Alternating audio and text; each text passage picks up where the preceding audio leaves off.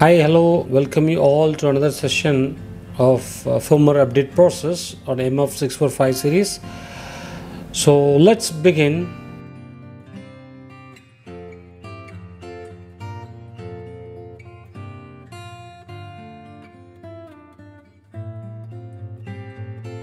As all we are know, firmware updates is an essential for any devices.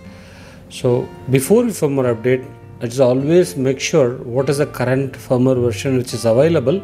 For that go to service mode and go to display and check uh, the version.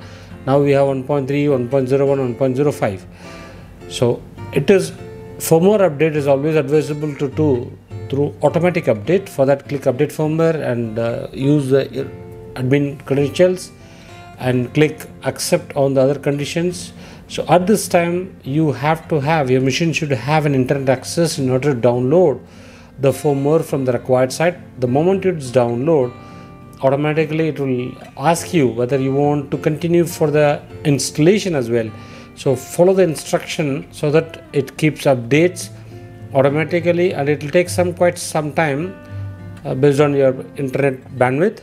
So once you updated just go back the version and check uh, now we could see the firmware has been updated to the latest one.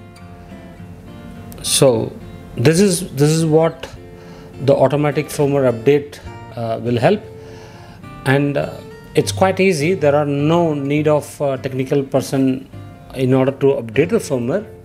So i'm just checking again is there any possible way that uh, new firmware updates are available so hope uh, you like this clip. This is all about uh, update the firmware. And my recommendation is to keep your machine always updated. It is good for the machine health. Thank you so much for your time and see you soon with uh, another video